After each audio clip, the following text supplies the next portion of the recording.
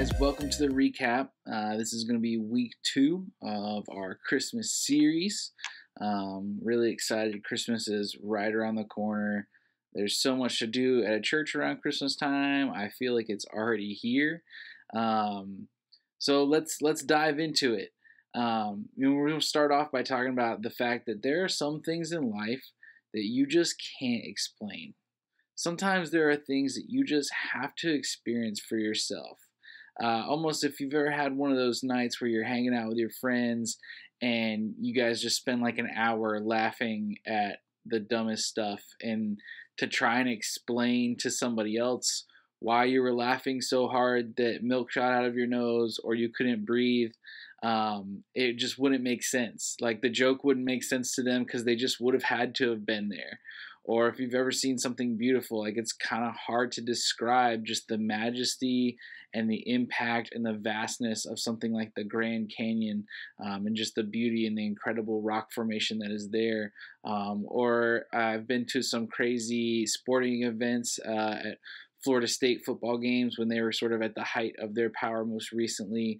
Um, games where we made a comeback against Clemson and you got 70,000 fans all just doing the war chant in unison and then just going nuts and losing their minds when we win the game. Um, those are things that the words don't quite do them justice. It's just kind of something that you have to experience to truly, truly get it. And so we've been talking about the Christmas story. We started with week one and um, just talked about it briefly. And I would be willing to bet that most of you guys are familiar with the Christmas story in some way, shape, or fashion. Even if you're not a church person, most people have heard about the baby Jesus and the manger and Joseph and Mary and riding on the donkey and the, the wise men. I mean, there's nativity scenes all over the place during Christmas time, so it's most likely you've come into contact with this story maybe some of you guys are so familiar that it just doesn't have an impact on you. Uh, maybe some of you guys have heard the story and you don't quite believe it. Um, or maybe some of you have heard it and you just don't quite get why some of these Christians are so excited about the Christmas story. And and I get it because some of you guys have heard the, about the Christmas story and just the life changing love of God and all these things from people who don't live that out. And so, if this thing's really this impactful, then, then why isn't it changing these people? But the Christmas story is truly, truly amazing. And so, we're just going to kind of go over it real quick. But before we do, I want to encourage you to do something. I want to encourage you to just take a second and just try not to bring any preconceived notions, any prior thoughts into this neck experience. Because I, I want you to imagine yourself in this story. How would you feel? What would you do? How would you react? What thoughts would you have? What would be going through your mind?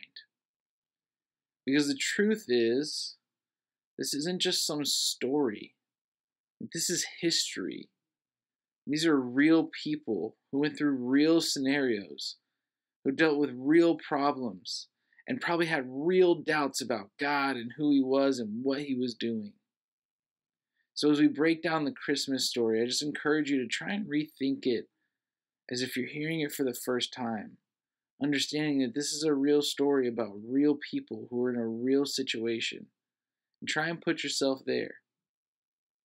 So the Christmas story goes a little bit like this. There was a young girl named Mary and a young man named Joseph. They were engaged to be married. And one day, Mary uh, gets a message from an angel of the Lord. And this angel says that she's going to be pregnant. And she's confused as to how that's going to happen because her and Joseph have not done anything yet that would lead to her getting pregnant. And she's never been with any other men.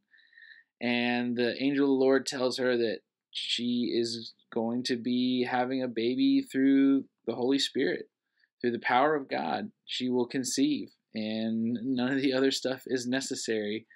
Um, that God can create life right there in her womb, which is pretty amazing. And of course, um, she struggles with this, but eventually she accepts, like, wow, this is so cool. Um, I'm going to do this. And then she has the job of telling her uh, fiance that she's pregnant and it's not his, but it's also not anybody else's. And understandably, Joseph is like, nope, definitely gonna divorce this girl. Um, and so then he also is visited by an angel of the Lord who tells him that this baby is from God and that they're going to name it Jesus and just tells him all these wonderful things about his future son. And so they decide to go through with it, and uh, the pregnancy goes along. And then one day, uh, the Roman ruler that's in control of their area decides he wants to take a census and count up all the people. So they had to travel back to where uh, Joseph's ancestors are from.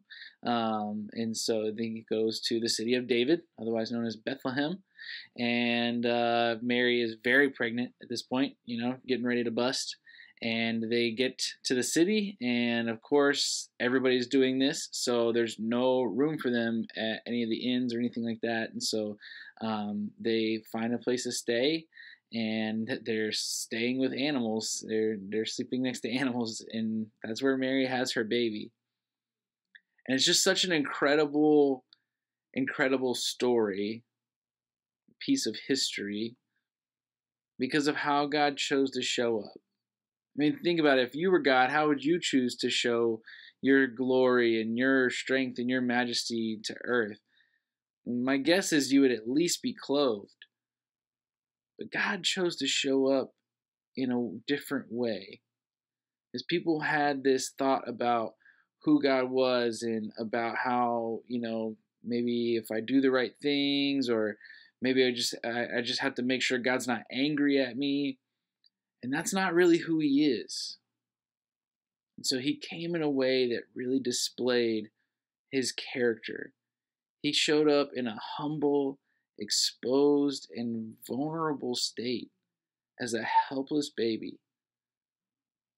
I mean, that's crazy that the God of the universe would choose to come as a helpless baby. He could have come to earth any way he wanted to, but that's how he chose to do it.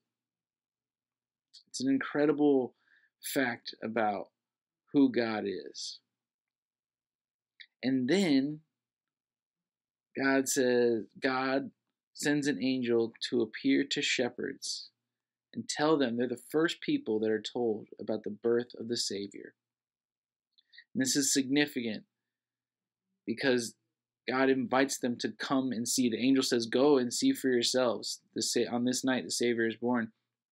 And he's inviting shepherds, which basically means he's inviting everyone because in those days, a shepherd was sleeping with a sheep, so they smelled, they didn't have any particular significance or status, they weren't wealthy.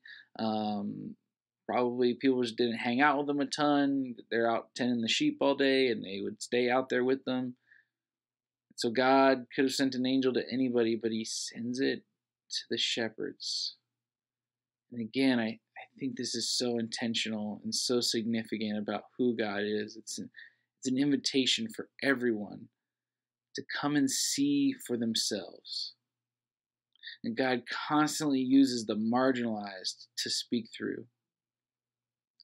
And I want you to know that this Christmas season, that invitation is the same if you're not sure about the Christmas story or you don't quite believe it or you're on the fence, or even if you just straight up don't believe it, that invitation is the same to you to come and see for yourself. Don't take my word for it, don't take somebody else's word for it, but go and see for yourself. Go experience Jesus for yourself. And man, what a better what better way could there be to spend Christmas than experiencing Jesus for ourselves? Your faith can't be based on what somebody else says or what somebody else tells you.